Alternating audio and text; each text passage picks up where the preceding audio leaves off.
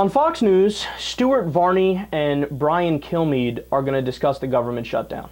Stocks dropped last week as Congress failed to agree on a funding plan to keep the government running, and nothing happened this weekend. The market's open in just a few hours, and with the shutdown looming less than 24 hours away, what can we expect? Stuart Varney has an idea. He's here to weigh in as he gets set for Varney and Company. Stuart, big drop? Uh, about 100 points at the opening bell in a couple of hours from now. That, that's not a huge drop. The Dow's at 15,000 and change. You're down 100 points. That is not a huge decline. I mean, we're still going to have some government services. We're still going to have the post office. We're still going to get Medicare. Yep. We're still going to get Social Security yep. if there is a shutdown. So what is Wall Street worried about? Look, most people won't notice. If the government shuts down at midnight tonight, most people will not notice. National parks are closed, 800,000 federal workers furloughed, okay? Most people won't notice that. What Wall Street is worried about is a totally separate issue. Which that is? comes up in the middle of October. That's the decision on whether or not we raise the debt ceiling. Can the government borrow any more money? This current fight is whether we can spend any more money.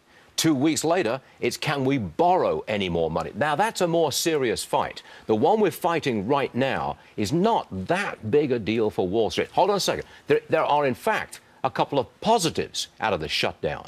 Number one, interest rates are going down this morning. Good news for the housing market. You want to refi, you want a mortgage, that's good news.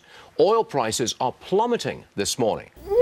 No. The government shutdown is actually a good thing. It's a good thing. No, see, Wall Street is kind of cool with it for now, and the Republicans, don't you dare blame the Republicans. The Republicans are on your side. The Republicans are fighting for you. That's why if the Republicans are responsible for the government shutdown, you should actually vote for more Republicans. Can Fox News be any more obvious in their tremendous bias in favor of the right wing? I mean, it oozes from their segments. Now, are you ready for some real facts? The last government shutdown, 1995 1996, 284,000 federal workers were furloughed, uh, and around 475,000 uh, essential employees went without a paycheck. The Small Business Administration this time around will stop making loans. Federal home loan uh, guarantees stop. The National Institute of Health will stop accepting new patients and delay or stop clinical trials. Gee, what could go wrong there if the National Institute of Health stops accepting new patients and clinical trials stop? Nothing to see here. Don't worry. Look away. The government shutdown is actually a good thing. Uh, the EPA stops doing their job. Isn't that wonderful? You know, who doesn't want uh, a society where industry and chemical companies can get away with doing whatever the fuck they want to do because the EPA is asleep at the wheel, even more so than they already are? Yeah, no problem with government shutdown here. Food inspectors have to stop.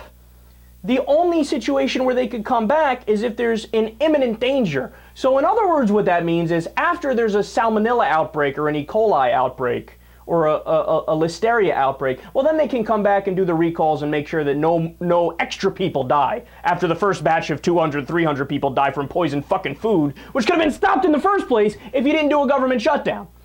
But no, nothing to see here. Who wants food inspectors? Do you want your food inspected before you eat it? I don't know about you. I like mine to come to go straight from the greedy corporation that only cares about profits directly to my plate. That's what I like. Uh, the National Guard, uh, a group of relief workers for the National Guard uh, are being held back from going to Colorado because of the government shutdown. They're not going to allow any more aid from the National Guard to go to Colorado after these tremendous floods. So emergency relief is being halted. But no, nothing wrong with the government shutdown. Fox News is in favor of the government shutdown. Right, and these guys like to think they're patriotic Americans. Well, what about the Americans who are in Colorado who are suffering? How about them? Oh, you didn't bring those up. You didn't bring those guys up. Funny, you only brought up the Republican Party and Wall Street. Gee, I wonder who you care about.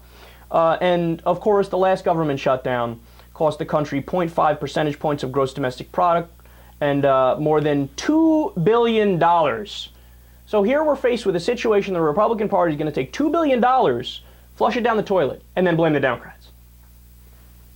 And this is the party that likes to call themselves fiscal conservatives. They're fiscally responsible. Yeah, totally fiscally responsible to take $2 billion and flush it down the fucking toilet.